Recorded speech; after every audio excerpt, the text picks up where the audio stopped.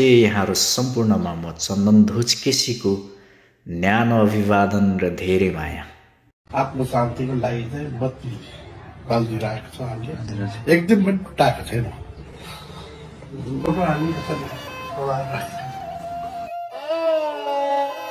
Photo फिल्ममा कहिले मिलन कहिले बिछोड माया प्रेममा तनहुकी आरती श्रेष्ठको जीवनमा पनि यस्तै भइदियो।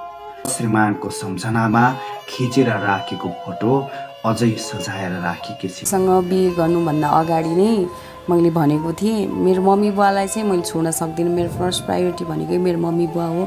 होइन मैले मम्मी बुवासँग बस्छु। होइन।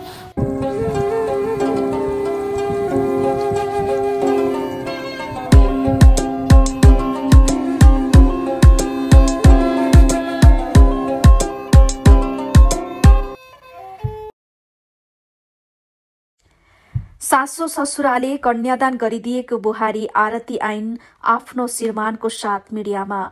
मिडियामा बोल्दै भनिन् मेरो भगवान रूपी मेरो सासु ससुरा मेरो बाबा मम्मीसँगै बस्ने निदो गरेका छौं।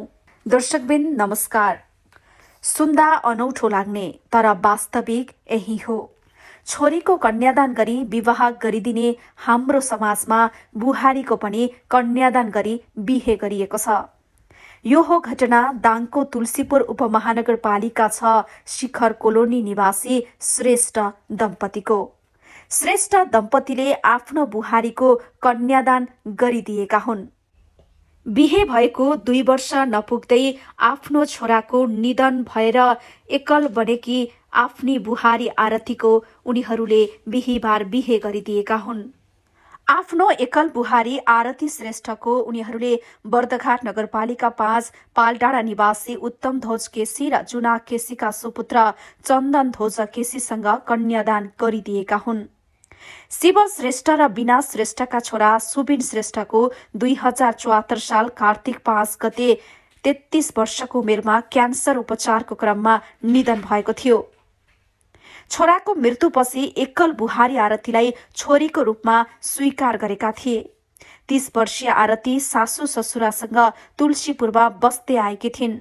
श्रेष्ठ दम्पतिले आरतीलाई छोरीको रूपमा स्वीकार गरिसकेपछि उनलाई स्टाफ नर्स समेत पढाएको ससुरा बुवाले बताएका छन्। छोराको मृत्यु पश्चात एकल भएकी बुहारीलाई छोरीको रूपमा हाम्रो समाजले विरलै मात्रामा स्वीकार्ने गर्दछन्। तर श्रेष्ठ दम्पतिले आरतीलाई छोरी स्वीकार गरी बुहारीको कन्यादान विवाह गरेर उदाहरणीय कार्य गरेका छन्। अहिले यिनीहरू चर्चाको विषय पनि बनेका छन्। उनीहरूलाई महान सासु ससुराको नाम पनि दिइएको छ। हाम्रो समाजमा एकल भएका बुहारीलाई हेर्ने दृष्टिकोणलाई परिवर्तन गर्दै श्रेष्ठ दम्पतिले बुहारीको विवाह गरिदिएका छन्।